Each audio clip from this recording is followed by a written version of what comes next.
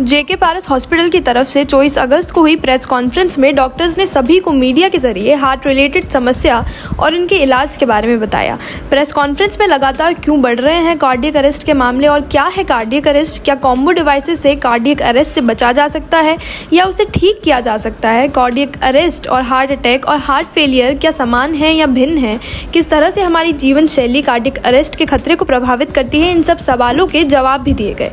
Doctor Amit Khandelwal निदेशक और विभाध्यक्ष विभागाध्यक्ष कार्डियोलॉजी विभाग, पारस हॉस्पिटल उदयपुर ने बताया कि कार्डियक अरेस्ट एक ऐसी स्थिति है जिसमें मनुष्य का हृदय अचानक काम करने लगता है या काम करना बंद कर देता है और इसके कारण अचानक हृदय का धड़कना बंद हो जाता है। कार्डिक अरेस्ट किसी भी कारणवश हो सकता है, अस्सी प्रतिशत मामलों में यह हार्ट अटैक के कारण होता है।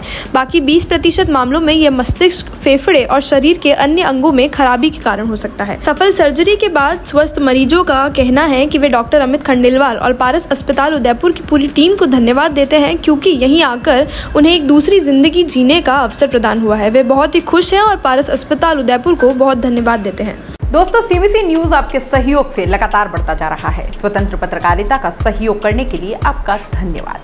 सबसे पहले तो जिन लोगों ने हमारे चैनल को सब्सक्राइब नहीं किया है तो पहले सब्सक्राइब करें, जिसका कोई शुल्क नहीं लगता और बड़ा आसान है। बस नीचे दिख रहे लाल सब्सक्राइब के बटन को दबाना है और पास में दिख रहे बेल आइकन को भी दबाना है, ताकि आपको अपने सीबीसी न्यूज़ के हर अपडेट्स मिल सके।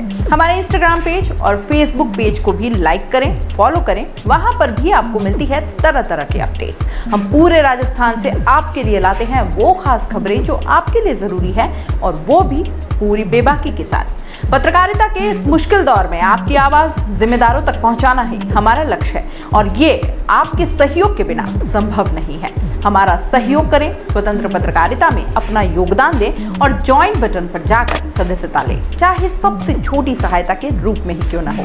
जनता की बेबाक आवाज़ बने रहें, उसके लिए सहयोग आपको ही करना है। सब्सक्राइब करिए और ज्वाइन बटन पर क्लिक कर सदस्यता ग्रहण कीजिए।